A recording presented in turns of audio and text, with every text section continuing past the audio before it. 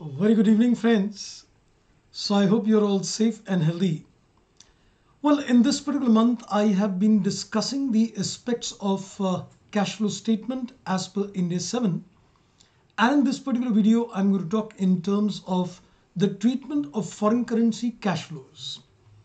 Ind AS 7, you can say, can be linked up with the provisions of Ind AS 21 and let's find out in detail what do the relevant paras on Ind AS 7 talk about this जो बच्चे सी A final की अपनी group की तैयारी plan कर रहे हैं, उनके लिए इस वक्त अन अकेडमी पर अच्छी ऑफर्स चल रही हैं।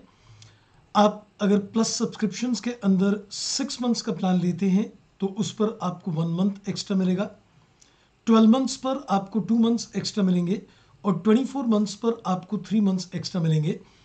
और जब आप सब्सक्रिप्शन प्लान करते हैं तो इसके अंदर आपको टेन परसेंट डिस्काउंट भी मिलेगा। मेरा कोड इस्तेमाल कर सकते हैं सी ए के बी टेन ये ऑफ़र केवल लिमिटेड पीरियड के लिए अवेलेबल है ट्वेंटी सेकेंड और ट्वेंटी थर्ड मार्च यानी कि कल और परसों।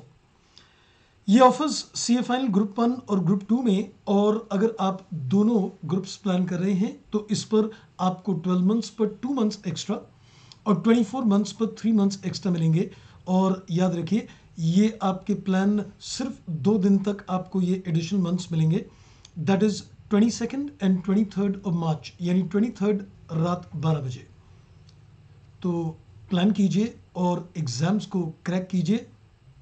Let's crack it there is para number twenty five which I quote unquote and it says cash flows arising from transaction in a foreign currency shall be recorded in the entity's functional currency by applying to the foreign currency amount the exchange rate between the functional currency and the foreign currency at the date of the cash flow.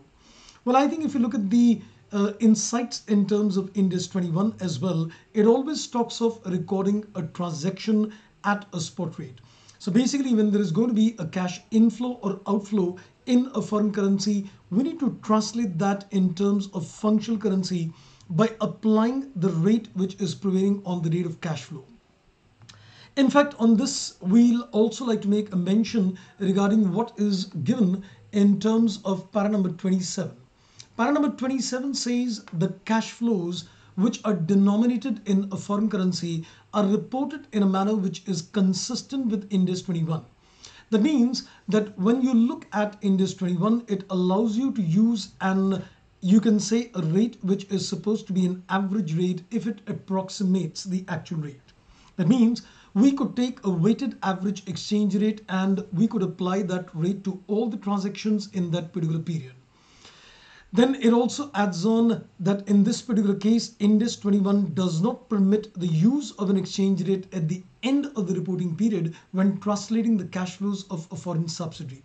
But I think in nutshell, what I like to put in is that if you've got foreign currency cash flows, the entity is, you know, got a choice in terms of either applying a rate on the rate of cash flow or if you can say that there are no major fluctuations in the exchange rate, the use of a weighted average rate for a particular period is also permissible.